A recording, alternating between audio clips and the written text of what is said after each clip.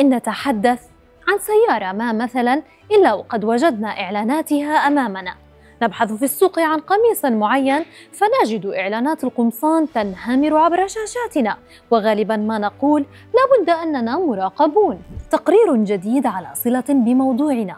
أصدرته لجنة التجارة الفيدرالية الأمريكية. يقول إن وسائل التواصل الاجتماعي العملاقة قامت بعملية مراقبة واسعة النطاق للمستخدمين بهدف كسب المال من المعلومات الشخصية. تحليل استمر لسنوات أظهر أن كميات هائلة من البيانات الشخصية للمستخدمين قد جرى جمعها من قبل شركات تواصل اجتماعي أو من خلال وسطاء.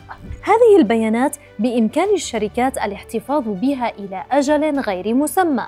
رئيسة لجنة التجارة الفيدرالية قالت إن كميات هائلة من معلومات شخصية لأمريكيين مكنت تلك الشركات من حصاد مليارات الدولارات سنوياً.